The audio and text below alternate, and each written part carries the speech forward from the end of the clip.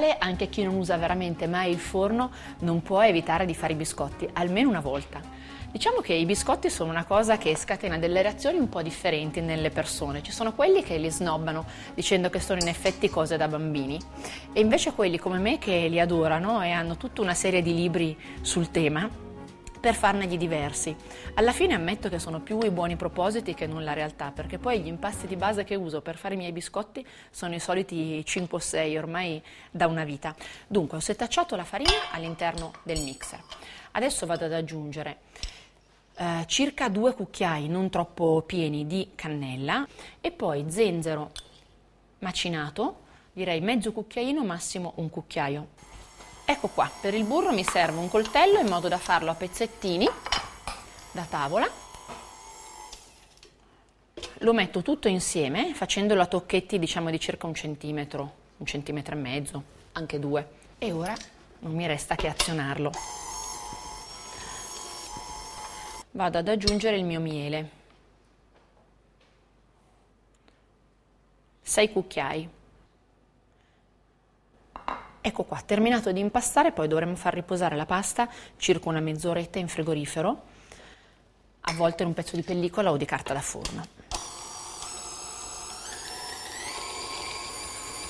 Nel frattempo andiamo a preparare la glassa.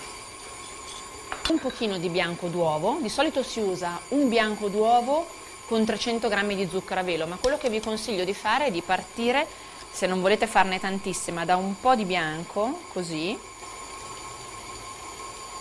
ecco, senza metterlo tutto, e aggiungere zucchero a velo fino ad aver raggiunto praticamente la, la consistenza desiderata.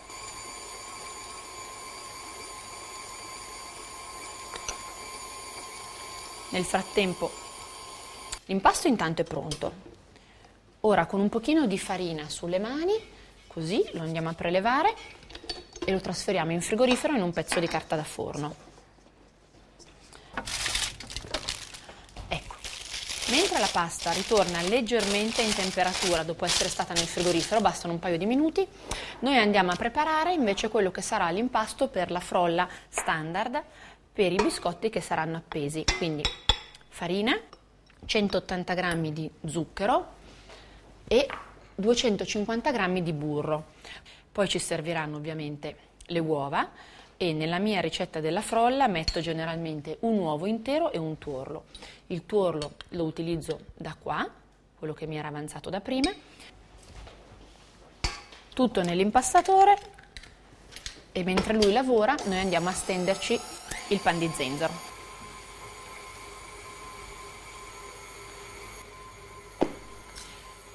prendete un tagliabiscotti fantasia, questi diciamo sono carini fatti con gli omini,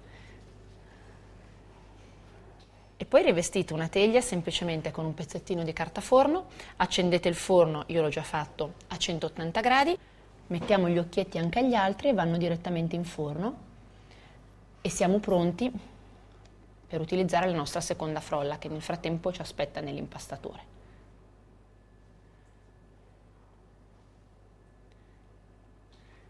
in forno. Anche la frolla, volendo, dovrebbe riposare in frigorifero e soprattutto se non la usate subito, ovviamente la tenete nel frigorifero e eh, quando sarà poi il momento di utilizzarla per fare i biscotti, la lasciate ritornare un pochettino in temperatura. Dunque, questi li vado a prendere un pochettino più grandi, quindi stendo la mia frolla un po' più ampia perché il mio tagliabiscotti sarà abbastanza grande, ma potete fare veramente tutte le forme che volete. Cambieranno chiaramente i tempi di cottura, perché per i biscotti piccoli, come gli omini che abbiamo appena infornato, bastano 10 minuti, per quelli più grandi magari ce ne vorranno 12-15. Vediamo, ecco qua. Questo fa parte della mia collezione personale ed è uno di quelli che mi piace di più per Natale. Certo serve un albero un pochettino grande, Voilà. Questo lo userò più tardi.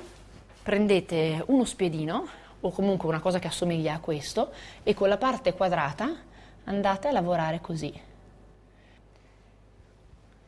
E abbiamo finito. Volendo qui possiamo mettere magari per alcuni qualche decorazione, ma mi piacciono anche lisci.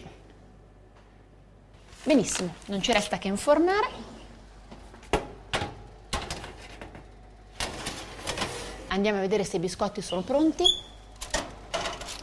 Sì, direi di sì. Iniziano a dorarsi sui bordi e quindi adesso quello che dobbiamo fare è metterli a raffreddare o su una griglia da raffreddamento o anche semplicemente sul marmo e poi decorarli con la nostra glassa.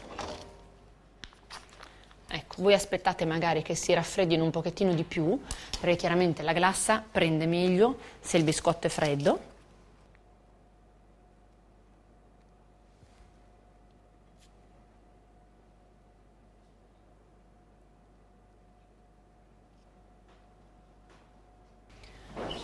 I biscotti sono pronti, devono restare comunque chiari, con le punte leggermente più dorate. Ecco, adesso dobbiamo aspettare che si raffreddino veramente bene, quindi direi almeno un quarto d'ora, prima di poterli togliere dalla teglia e eh, terminarli appendendo un piccolo pezzettino di spago, ci servirà per appenderli. Queste sono un'idea molto carina a mio avviso, anche se volete fare un regalo a una vostra amica. Ecco, a questo punto non mi resta che augurarvi Merry Christmas!